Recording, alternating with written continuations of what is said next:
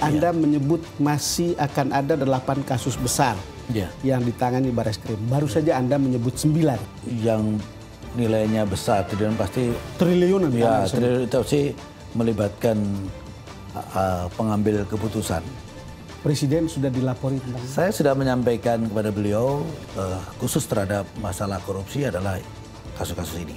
DBS To The Point, Selasa pukul 20 lebih 5 menit waktu Indonesia Barat, hanya di Berita 1.